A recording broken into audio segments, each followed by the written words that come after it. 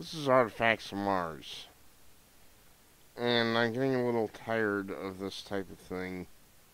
Emory University president says students are scared and in pain after someone wrote Trump 2016 in chalk on campus. So what? How can anybody be scared and in pain over that? I'm not getting this. I'm sorry. Uh, this is just baby stuff. In fact, some people are telling them to grow up. President Jim Wagner says students viewed graffiti as intimidating. That is BS. That is bullshit. Officials arranged a meeting for those offended to address concerns. They shouldn't have wasted their time. University organizations also offer counseling to those affected.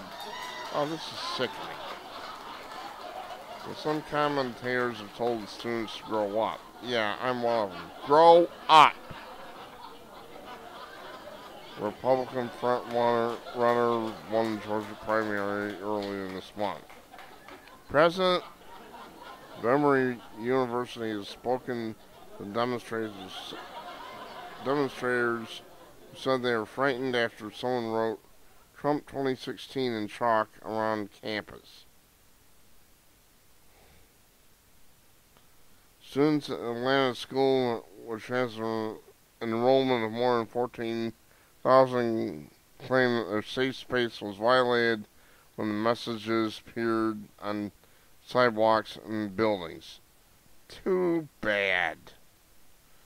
Jim Wagner, president of the Atlanta University, wrote Tuesday that students review, view the messages as intimidation and they voiced genuine concern and pain as a result.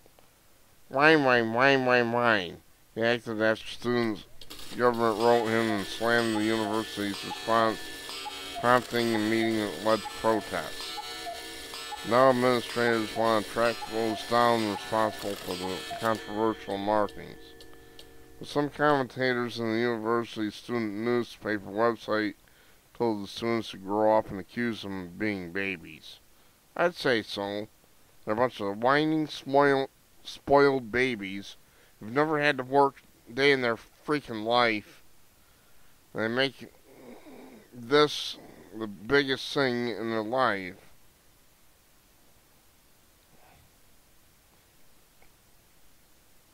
As a result, student organizations offered counseling to anyone who may have been impacted by what they had seen. This is utterly ridiculous. Emory student newspaper, The Wheel, said Wagner outlined four steps the administrators plan to take in order to address the issues raised by the protesters who said they were in pain in a campus-wide email. This is sickening absurd, ridiculous. He proposed immediate refinements to certain policies and procedural deficiencies, regular and structured opportunities for difficult dialogues, a formal process to institutionalize identification, review, and addressing of social justice opportunities and issues, and commitment to an annual retreat to renew their efforts. This is sickening. How about telling the... Why doesn't the administration just tell them to grow up? I don't care about your whining. I don't care if you hate Trump. Too bad. He's a candidate. You don't like it? Tough beans. You have to enter the real world at some point. You can't don't always get what you want. That's the way life is.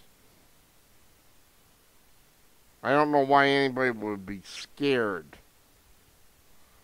And Trump's different than anything I've ever seen. Other than possibly he's somewhat similar to Ross Perot, but uh, Ross Perot is more liberal, I believe. I think Trump's more uh, gonna edge towards the conservative side. That's my opinion. This is ridiculous. Uh, tell your babies to grow up. What in the hell is wrong with these parents that are raising babies like this? Whining, sniveling little dumplings that go to these colleges and uh, their maturity level is about two years old. I'm sorry, I'm sick of this.